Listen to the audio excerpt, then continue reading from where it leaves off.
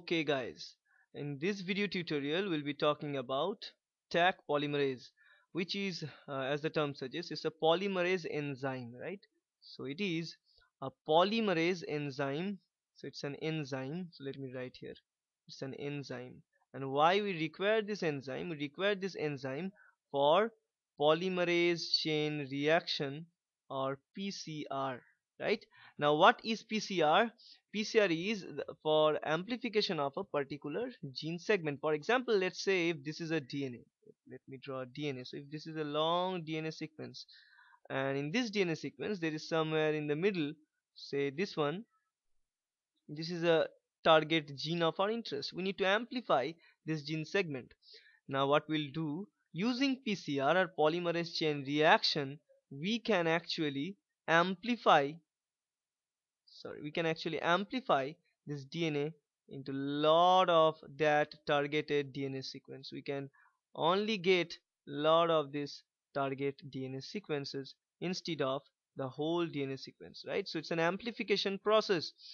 Now for this amplification process we require a many different enzymes and among those enzymes in different cases we require many different things. So most of them uh, and, and, and most important one is this polymerase right? Now this polymerase enzyme is a key enzyme for this PCR or polymerase chain reaction uh, process. Now now let's first talk about uh, the basics of polymerase. So when you're talking about polymerase polymerase enzyme the effect of polymerase enzyme is simply to polymerize to polymerize. Now what do we mean by polymerize because when you're talking about uh, different uh, nucleotide sequences so when you're talking about DNA or RNA so polymerase are doing is simply uh, the process is that we are having nucleotide sequences nucleotides like adenine guanine thymine cytosine and so on.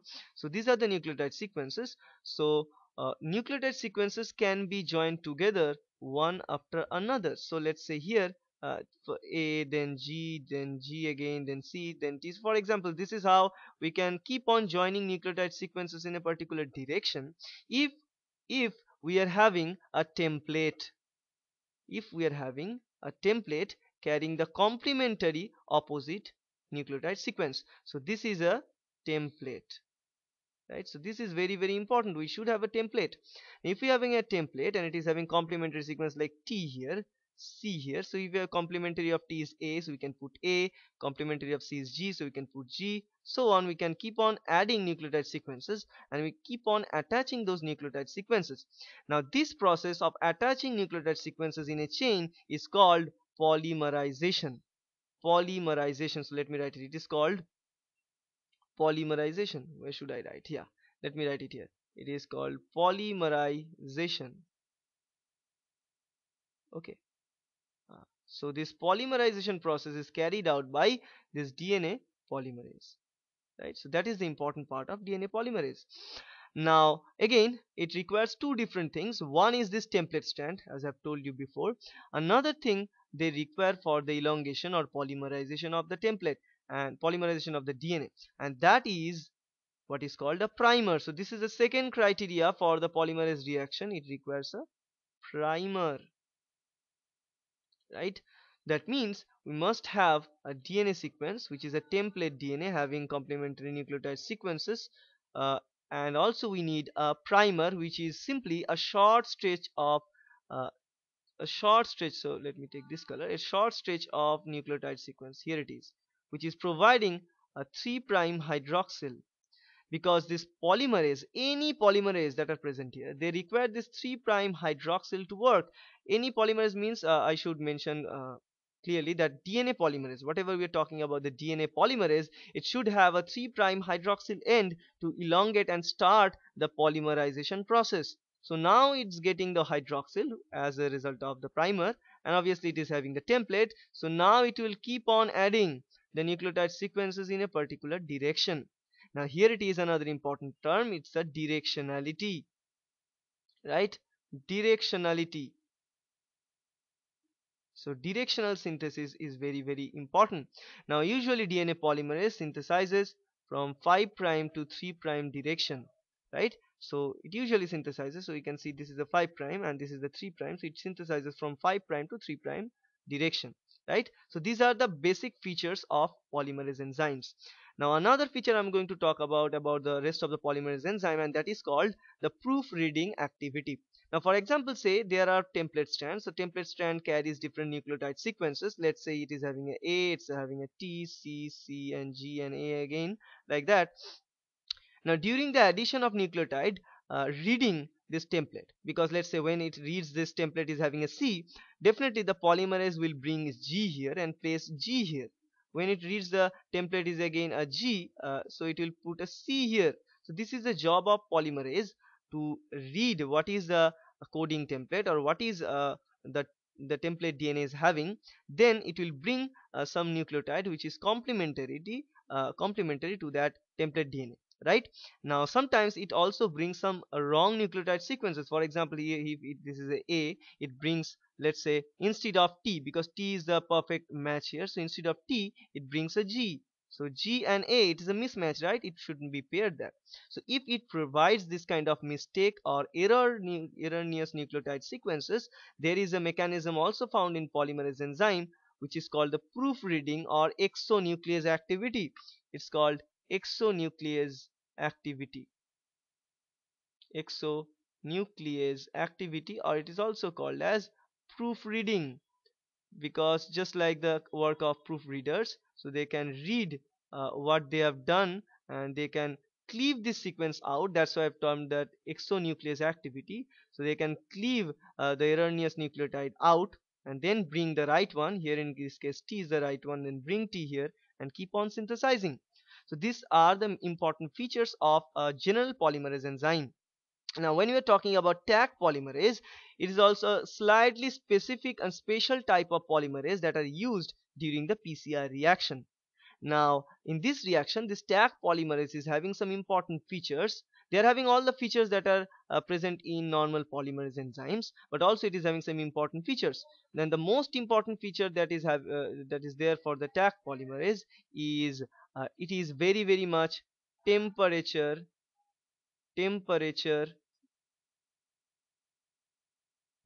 uh, what we can say uh, resistive. So uh, this Taq polymerase can usually present in high temperature. It's a high temperature uh, tolerant. So it's a temperature tolerant. So it's a temperature tolerant kind of uh, polymerase right? So the stack polymerase is a temperature tolerant. That means it can be present or it can present at more than uh, say it, it can present at 90 degrees celsius temperature.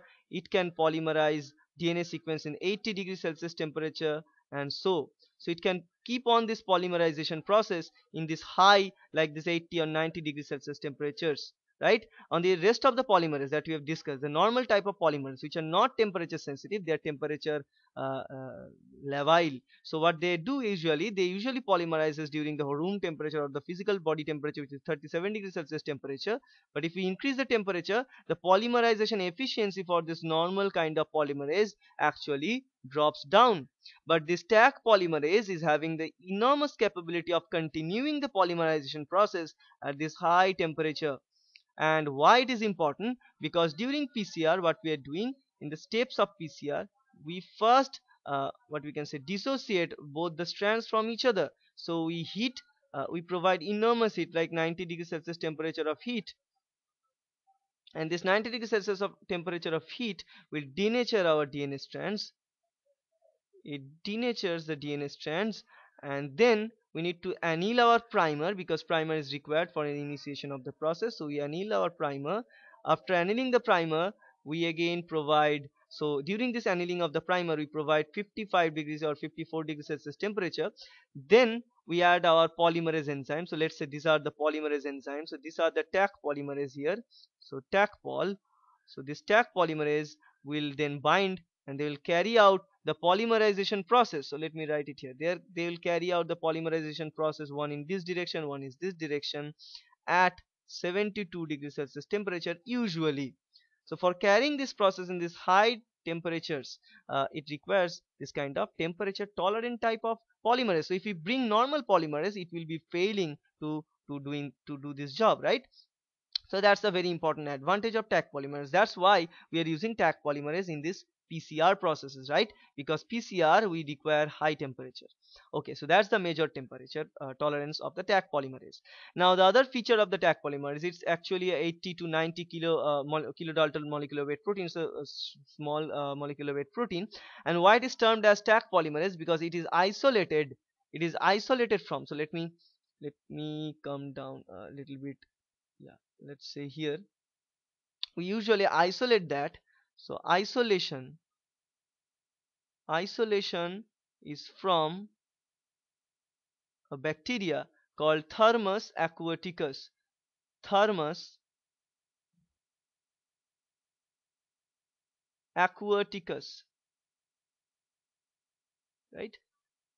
So this bacteria is a type of thermophilic bacteria. So we know what thermophilic bacteria are. Thermophilic bacteria. That means this bacteria love to be in the higher temperature. So they love higher temperature. So these bacteria usually possess this kind of enzymes because they need to stay in the high temperatures. So they need to carry out all the necessary cellular processes in that high temperature. For carrying out uh, polymerization dna replication and duplication and all these things they require this temperature uh, tolerant uh, uh polymerase right so that's uh, the uh, isolation of this Taq polymerase. As they are coming from thermus aquaticus they are that's why we call we take this T from thermus and we take this AQ from uh, this aquaticus. So it's giving us the Taq and the Taq polymerase okay. But again now let's bring to the next important point about using this uh, Taq polymerase and that is obviously uh, sorry let's bring sorry sorry sorry there's a jam there. Okay let me take a bit let take a bit upper. Okay. Now let's see here uh, let's see here uh, what we are talking here. Another important part which is uh, remember exonuclease activity or proofreading activity. Now usually the polymers that we're talking about they are having uh, two types of exonuclease there can be possible. Uh, usually the polymerization as i've told you the directionality of polymerase is important and the directionality is 5 prime to 3 prime. And there is the exonuclease activity and the exonuclease activity is also having a directionality. And the directionality for the exonuclease activity is uh, 3 prime to 5 prime. So the exonuclease usually work at 3 prime to 5 prime direction right some polymerase have that some polymerase does, not have uh, have this. So in this case of Taq polymerase they do not have this 3 prime to 5 prime exonuclease activators and they, this is a very very important and this is a one kind of you can say this is a kind of mistake this is a kind of uh, disadvantage of Taq polymerase. There's an advantage that this is very much high temperature tolerant but again this is a disadvantage that it is uh, not having the exonuclease activities. It is not having not having 3 prime to 5 prime exonuclease activity. So as a result of that what it is suggesting us that whenever Taq polymerase make a mistake during the polymerization process uh, it cannot remedy that mistake. It cannot reverse that mistake or cannot uh, refill that gap right? So as a result of that let's say here it puts a wrong uh, G instead of T so it remains like that. So after this polymerization step there is a high degree of error right so there is a high degree of error is there if we're using Taq polymerase. But still we use Taq polymerase because uh, this kind of errors that it is giving us is pretty less. So it's 10 to the power minus 4 to 10 to the power minus 5 nucleotide errors. So the errors in 1 in a 10 to the power minus 4 or 10 to the power minus 5 nucleotide. So this error rate is a little bit uh, less very very less. But still uh, it is providing us a good insight because it is having a high temperature tolerant level. And obviously let me tell you the fact that uh, how much it can tolerate the temperature. It can tolerate the temperature of 90 degrees celsius temperature for the half life of 40 minutes so it can stay up to 40 minutes of its half-life at 90 degrees celsius temperature. So it's a pretty good temperature tolerant but again it's uh, not having the exonuclease activity. So if you're using this Taq polymerase we need to compromise uh, the proofreading over the polymerization process right? So we need to sacrifice one important ability. And uh, and obviously uh, in in modern age in, in new nowadays what we can use we can actually use this Taq polymerase. We can use this Taq polymerase error uh, uh, or error rate of the Taq polymerase and using this erroneous uh, nature of the Taq polymerase we can modify it into another type of PCR and it is called error prone error prone PCR that's something new concept. You can find a video on error prone PCR in my YouTube channel also now, uh, why this error prone PCR? As they are lacking the ability of 3' to 5' exonuclease activity, we use those polymerases like Taq polymerase, there are other polymerases too. We use those error prone polymerase so that during the polymerization process, so let's say this is a template and this is the polymers. During this polymerization process, we want more and more mistakes like denoted here in this red color. So more and more mistakes why we want more mistakes because this mistake will give us variation. And this variation will lead to provide us a mutation right? Because the change in DNA nucleotide sequences it lead to the mutation. Now we can generate mutation. So we can use this error prone PCR to generate to generate mutation. So we can cause what is called the mutagenesis using this error prone PCR by modifying uh, the activity of Taq polymerase using its ability uh, for not having the 3' prime to 5' prime exonuclease activity right? So that's it and I hope that's helpful. Thank you